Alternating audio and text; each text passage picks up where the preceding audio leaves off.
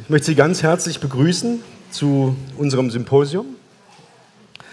Sie haben es gesehen, es ist ein besonderes Symposium. Es, äh, wir begehen damit zugleich den zehnten Jahrestag der Gründung der Stiftung Medico International. Zehn Jahre sind kein Alter, keine Frage. Äh, umso mehr aber freuen wir uns, was die Stiftung in der Kürze der Zeit, die sie existiert, bereits erreichen konnte. Ich will darüber jetzt nicht reden, sondern Sie nur darauf verweisen, dass draußen eine Broschüre ausliegt, die gerade fertiggestellt wurde und darüber intensiv Auskunft gibt. Meine Aufgabe jetzt heute Morgen wird es sein, den Bogen zu spannen von der Diskussion, die wir gestern hatten, zu dem Thema heute. Das äh, ist ähm, durchaus möglich. Ähm, ich glaube, dass in der Debatte gestern äh, sehr klar geworden ist, dass die vielen Krisen und die, die, tiefen sozialen Spaltungen, die in der Welt herrschen, nicht einfach vom Himmel gefallen sind, sondern das Ergebnis ähm, mächtiger politisch-ökonomischer Konstellationen, die, und das ist ja gestern deutlich geworden, einer ganz anderen Vernunft, einer ganz anderen Logik folgen als die, die in den Bedürfnissen und Ansprüchen der breiten Bevölkerungsschichten zum Ausdruck kommt. Wir haben das vor allem am Beispiel Griechenland diskutiert. Und die, die gestern dabei waren, die wissen es natürlich. Wer nicht dabei war, sie kennen den Vorwurf, Griechenland habe seine Hausaufgaben nicht gemacht. Syriza sei noch nicht in der Realität angekommen. Die Griechen seien faul. Das stimmt alles so lange, wie wir die Definitionsmacht dessen, was Realität ist, eben der Eurogruppe überlassen oder den Journalisten, die, und das hat gestern Stefan Hebel auch nochmal deutlich gemacht, sich äh, ganz offenbar im nur noch Nachplappern von Stereotypen gefallen. Aus der Perspektive der griechischen Bevölkerung, und das gilt dann für viele andere Bevölkerungen der Welt natürlich auch, äh, sehen die Verhältnisse ganz anders aus. Dann ist es eben, dann sind es die Institutionen, die Europäische Union, die jeden Bezug zur Realität verloren haben. Und dann ist es zum Beispiel Schäuble, der noch nicht im Leben der Verlierer der Globalisierung angekommen ist. Denselben Antagonismus, den sehen Sie auch in der gegenwärtigen Flüchtlingspolitik. Auch das war gestern Kurzthema. Was europäischen Politikern als das Problem gilt, die Flucht, die Schlepperbanden, das ist für Millionen von Menschen im Süden oftmals die letzte Hoffnung, doch noch an einem Leben teilhaben zu können, das Zugang zu Bildung, zu Daseinsvorsorge, äh, kurz zu Anerkennung und Perspektiven bietet. Wenn nun diese Hoffnung, die in den Schlauchbooten der Menschen äh, fast zum Greifen nahe ist, mit militärischen Mitteln bekämpft wird, dann ist es vor allem eine moralische Bankrotterklärung. Wir haben dann auch darüber diskutiert gestern, was es noch ist, nämlich Ausdruck eines schon grotesken Aufeinanderprallens von verschiedenen Rechtsperspektiven. Wir reden heute alle von Menschenrechten, auch Politiker tun das besonders gerne, die aber dann, für die dann die Menschenrechte nichts wert sind, wenn sie partikularen politischen und ökonomischen Interessen im, Gehege, im Wege stehen. Es ist schon beschämend zu sehen, mit welcher Energie heute zum Beispiel der Rechtsschutz von Investoren vorangetrieben wird. Sie kennen das TTIP-Abkommen, auch das war gestern kurz Thema und praktisch nichts getan wird, um die Rechtsstellung von Flüchtlingen, von Klimaflüchtlingen zum Beispiel, äh, sicherzustellen und zu klären. Mehr denn je dominiert heute in dieser Welt das Vertrags- und Handelsrecht über das Menschenrecht. Wir sahen am Ende der Debatte durchaus auch Anzeichen für Veränderungen. Wir sind allerdings nicht allzu optimistisch geworden, das muss man auch sagen. Es äh, ist zu befürchten, dass dieses multiple Krisengeschehen, das äh, uns alle bewegt, noch eine Weile anhält, Ausdruck einer strukturellen Krise ist und uns noch beschäftigen wird. Und das führt unmittelbar jetzt zur Frage unseres heutigen Symposiums, nämlich wie wir denn mit all den Risiken, mit all den Gefahren, die aus diesem Krisengeschehen erwachsen, wie wir damit umgehen sollen, wollen, müssen. Und das ist, um gleich am Anfang zu sagen, keine technische Frage, sondern eine eminent politische.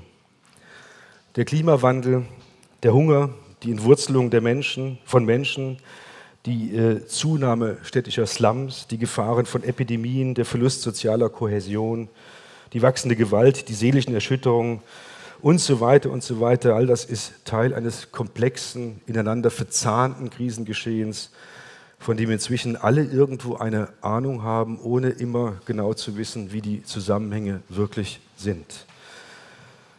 Es sei eine wörtlich ganz, ganz unruhige Welt, so Angela Merkel. Eine Welt, in der es nur noch eine Chance gäbe, wieder sie wörtlich, nämlich auf Sicht fahren. Das ist ein einfaches Regierungsprogramm. Man mag darüber schmunzeln.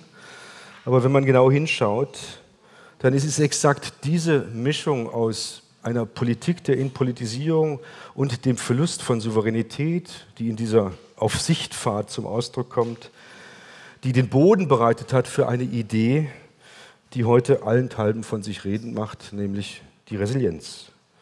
Ich weiß nicht, ob und wie Ihnen dieser Begriff schon mal begegnet ist.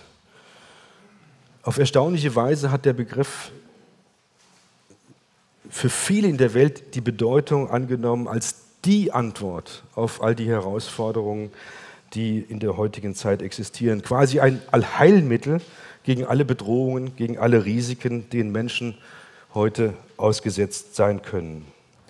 Wenn Sie Resilienz googeln, dann stoßen Sie auf bald 500.000 Einträge. Resilienz in der Erziehungsberatung, in der Traumabehandlung, in den einschlägigen Ratgebern der Yellow Press, Resilienz aber auch in der Frage des Aufbaus von Gesundheitsdiensten in Westafrika, in den Trainingskursen von Führungskräften, beim Schutz gegen Burnout, vor, den, vor dem Klimawandel, regischer Wald, Resilienz in der Katastrophenvorsorge, der Ökonomie, der Sicherheitspolitik. Es ist, sind längst nicht mehr nur die Pädagogik und die Psychotherapie oder die Umweltwissenschaften, in denen Resilienzkonzepte in vielen diesen Bereichen durchaus mit richtigen und guten Absichten angewandt werden, sondern Resilienz ist zu einem fast schon magischen Wort geworden, das kaum noch aus den verschiedenen Praxisfeldern wegzudenken ist. Ursprünglich stammt der Begriff Resilienz aus der Physik, genauer aus der Stoffkunde und beschreibt die Fähigkeit eines Werkstoffes, auf Störungen, die von außen auf ihn einwirken, unbeschadet reagieren zu können. Resiliere, lateinisch meint übersetzt etwa abprallen, zurückfedern. Angesichts der düsteren Zukunftserwartungen, die von Chaos und Bedrohungsszenarien geprägt sind, ist es durchaus vernünftig, Vorkehrungen zu treffen, um Störungen von außen überstehen zu können. Selbstverständlich spricht nichts dagegen, die Widerstandskraft von Menschen zu stärken. Und natürlich ist es auch notwendig, Menschen in ihrem Bemühen, sich vor Katastrophen zu schützen, beizustehen. Absurd aber wird all das, wenn, es, wenn das Bemühen um Resilienz zur Rechtfertigung dafür herhalten muss, nichts mehr gegen die Ursachen von Krisen zu tun. Genau das ist aber meines Erachtens zunehmend der Fall. Die Idee der Resilienz ist in den letzten Jahren mehr und mehr von einer Politik vereinnahmt worden, die eben auf Sicht fährt und gar nicht mehr den Anspruch erhebt, Alternativen zum herrschenden, zur herrschenden Krisendynamik zu denken. Matthias Hawks, manche werden ihn kennen, ist ein Trendforscher und einer für mich der Apologeten der neoliberalen Umgestaltung der Welt. Der hat das ganz offen bekannt. Resilienz wird in den nächsten Jahren den schönen Begriff der Nachhaltigkeit ablösen. Hinter der Nachhaltigkeit steckt die alte Harmonie-Illusion, so Matthias Hawks. Doch lebendige evolutionäre Systeme bewegen sich immer an der Grenzlinie des Chaos, weshalb künftig nicht mehr eine stetige nachhaltige Entwicklung im Mittelpunkt stehe, sondern der Umgang mit Krisen. Von der Krisenvermeidung zur Krisenverwaltung, von einer auf Veränderung drängenden Politik zur, Fahren, zur Fahrt auf Sicht, was Hawks die Harmonieillusion nennt und verunglimpft, ist die normative Dimension, die in der Idee der Nachhaltigkeit steckt. Nachhaltigkeit, wie auch immer Sie den Begriff verwenden, auch darin entzündet sich Kritik. Nachhaltigkeit impliziert immer Wertvorstellungen, an denen sich politische, ökonomische und technologische Entscheidungen auszurichten haben. In der Idee der nachhaltigen Entwicklung zum Beispiel, da geht es um Vorstellungen, wie durch die aktive Gestaltung der Verhältnisse menschenwürdige Lebensumstände Umstände geschaffen werden können. Ein solches normatives Konzept fehlt in der, in der Idee der Resilienz. In ihr geht es nicht mehr um gesellschaftliche Ideale, sondern nur noch um die Frage, wie sich Menschen und Systeme gegen Störungen sprich gegen eine aus den Fugen geratene Welt schützen können. Ihre Klammer ist nicht die Korrektur zerstörerischer Verhältnisse, sondern die Anpassung an einen offenbar unaufhaltsamen, weil alternativlos voranschreitenden Zerstörungsprozess. Die Frage, die wir uns stellen, ist, muss das so sein? Ist die beschworene Alternativlosigkeit, die gegenwärtig ja fast schon metaphysische Dimensionen angenommen hat, wirklich alternativlos? Wenn wir diese Frage richtig beantworten wollen, müssen wir den Kopf frei machen von fatalen Strategien, von falschen, von Irrwegen und da spielt die Resilienz eine große Rolle. Deswegen beschäftigen wir uns damit, Resilienz anzuschauen. Wird nicht in der inflationären Verwendung des Begriffs Resilienz deutlich, dass es gar nicht um die Stärkung von Widerstandskraft geht, sondern möglicherweise ganz andere Interessen im Spiele sind, legitimatorische, kommerzielle? Schauen Sie mal in die Auslagen der Buchhandlungen oder in die Beratungsangebote im Internet. Es scheint, dass ein ganzer Berufszweig inzwischen sich darauf kapriziert hat, wie auf all die Verlustängste, die aus der neoliberalen Aufkündigung von Gesellschaftlichkeit resultieren. Heinz Bude spricht in dem Zusammenhang von der Gesellschaft der Angst, wie auf diese Verlustängste marktförmig reagiert werden kann. Die Titel der Bücher sprechen für sich. Resilienz, was uns stark macht gegen Stress, Depression und Burnout. Resilienz, die Kunst wieder aufzustehen und so weiter und so fort. Aber wenn Resilienz sozusagen als eine Eigenschaft gilt, die prinzipiell alle Menschen, Systeme haben und die man nur durch ein wenig Training, durch ein bisschen technische Verbesserung sozusagen äh, optimieren kann, dann können sich natürlich auch staatliche Institutionen aus ihrer gesellschaftspolitischen Verantwortung, aus ihren Schutzverpflichtungen immer weiter zurückziehen. Es entsteht ein komplett neues Staatsverständnis letztendlich. Eines, das die Verantwortung für die Bewältigung von Armut, die Folgen von Klimawandel, der in der Welt grassierenden Gewalt an Subsysteme wie Familien, Kommunen, Nachbarschaften, Therapeuten, Pädagogen, Hilfswerke, Unternehmen und schließlich an jeden und jede Einzelne abwälzt. Wenn Sie genau hinschauen, sind heute tatsächlich fast alle schon damit befasst, über Resilienz nachzudenken. Absurde Beispiele. Die Bewohner zum Beispiel von küstennahen Gebieten in Bangladesch werden auf Anraten von Entwicklungsexperten sind auf Anraten von Entwicklungsexperten bereits damit befasst, von der Hühner auf die Entenzucht umzustellen, denn die Meeresspiegel können ja nach oben gehen. Topmanager von Versicherungsgesellschaften, Banken, Fluglinien sitzen auf Tagungen zusammen. Eine fand statt unmittelbar nach dem Hurricane, dem Taifun Yolanda auf den Philippinen, äh, um über Anreize für resilientes Investment nachzudenken. Die Weltgesundheitsorganisation hat gerade getagt und hat zum Schwerpunkt gehabt Resilienz und macht sich Gedanken, wie man resiliente Gesundheitssysteme aufbauen kann. Offenbar geht man davon aus, dass sich die sozialen und politischen Ursachen, die hinter einer solchen Epidemie wie äh, Ebola stehen, gar nicht mehr äh, bearbeitet werden können. Es nur darum geht, entsprechend starke, robuste, sagen manche, Gesundheitssysteme aufzubauen. Die US-Armee äh, betreibt in einem Rahmen, äh, in einem, im Rahmen eines Programmes, das sich Comprehensive Soldier Fitness Program nennt, äh, die hat, verfolgt die Idee, komplett resiliente Soldaten zu schaffen, an denen sozusagen alles, was die Kampfkraft schmälern könnte, abprallen könnte. Aber auch Schulkinder in Israel, zigtausende üben inzwischen in simulierten Terroranschlägen ein, wie Angst durch Atemübungen und positive Gedanken bekämpft werden können. Ende letzten Jahres ist in den USA ein Buch erschienen, das den bemerkenswerten Titel trägt The Resilience Dividend, Being Strong in a World Where Things Go Wrong. Dessen Autorin Judith Rodin ist nicht irgendwer. Sie ist die Präsidentin der Rockefeller Foundation, und diese Rockefeller Foundation hat Resilienz schon vor einigen Jahren zu einer Top-Priorität erklärt. Man muss wohl sagen, dass die Resilienz, das Thema Resilienz im herrschenden Diskurs nicht mehr wegzudenken ist.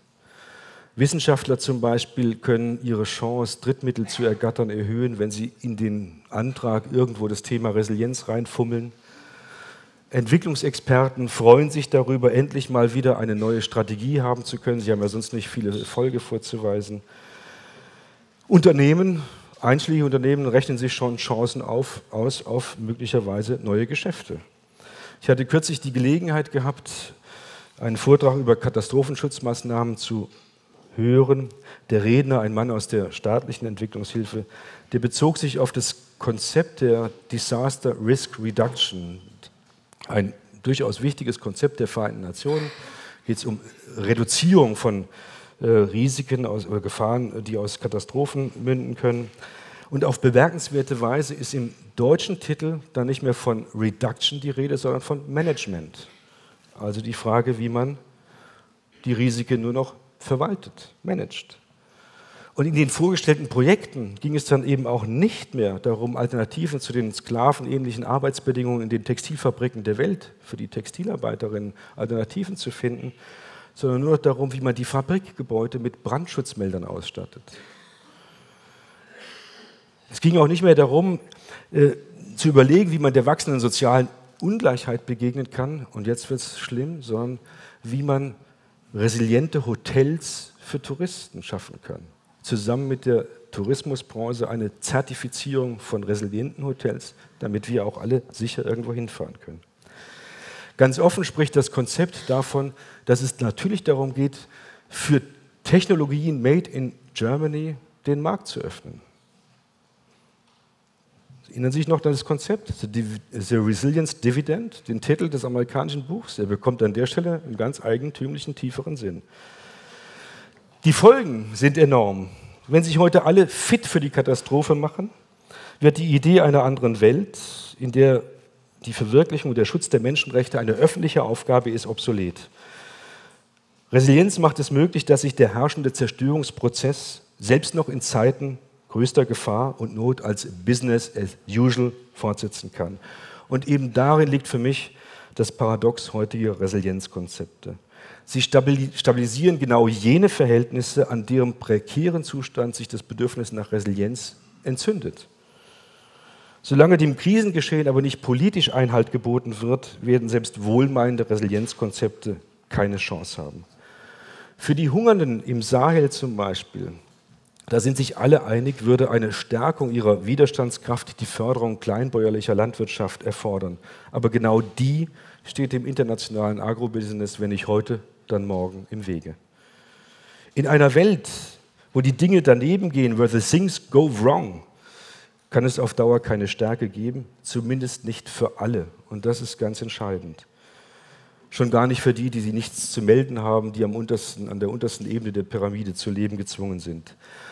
Gut verdienenden Managern mag es vielleicht noch gelingen, private Schutzschilder gegen Burnout aufzubauen, nicht aber den sozial Ausgeschlossenen, denen jedwege Anerkennung verweigert wird und die zu einem Leben in Armut gezwungen sind. Es ist sicher möglich, die Resilienz von Fabrikgebäuden, Touristenressorts und Investitionen zu erhöhen, aber gilt es auch für Flüchtlinge?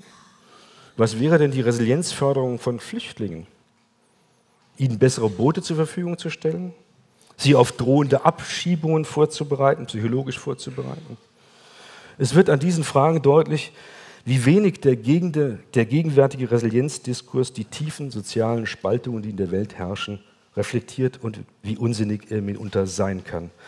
Lassen Sie uns also gemeinsam darüber nachdenken, ob uns Resilienz als eine dominierende Strategie wirklich weiterhilft oder ob wir nicht eher ganz andere Begriffe und Konzepte brauchen, die uns leiten. Und in diesem Sinne wünsche ich uns jetzt viel Erfolg für den Tag.